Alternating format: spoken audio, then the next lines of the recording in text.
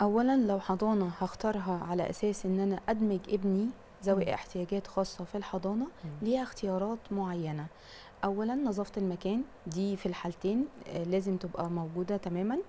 تاني حاجة كمان السلالم لازم تبقى مخصصة كمان لأطفال ذوي الاحتياجات الخاصة لو. في أطفال هايبر اكتف اي دي اتش دي العوائق الحيطان ال landscape يبقى في الأرض ما يبقاش سيراميك قابلة للانزلاق أو التزحلق يعني الأمان والسلامة في الحضانة من تمام. أولويات أي أم النظافة بأدوات. الطفل. آه، أدوات طعامه أدواته الشخصية الاهتمام كمان بالتغذية تشوف إيه اللي بيتعرض له خلال اليوم سواء الأكل سواء ال- الطعام الفطار. الغداء السناك اللي بياخده في اليوم. آه، في ده, ده أطفال. الأطفال اللي هم الحالات الخاصة لكن برضو الأطفال آه. العادية ما فيش مشكلة. آه والأطفال نفس الع- ال... نفس الكلام يعني. بالظبط وب- وبنهتم تكون الوجبة فيها الفيتامين والمعادن اللي الطفل محتاجها آه. علشان ما يصيبهوش سوء تغذية. تمام. تمام. الأمن والسلامة النظافة الاهتمام طبعا الأنشطة التربوية اللي بياخدوها في الحضانة.